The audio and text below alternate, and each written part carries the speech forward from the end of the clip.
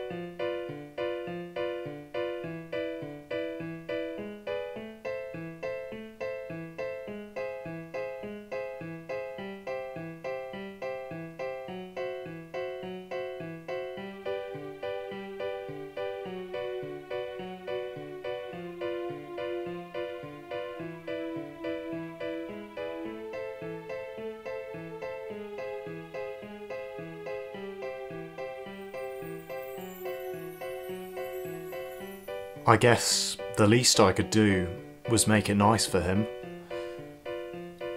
It's quite a sentimental ending, I know, but I think he wanted it that way. He has about 10 seconds left now. Goodbye, boy.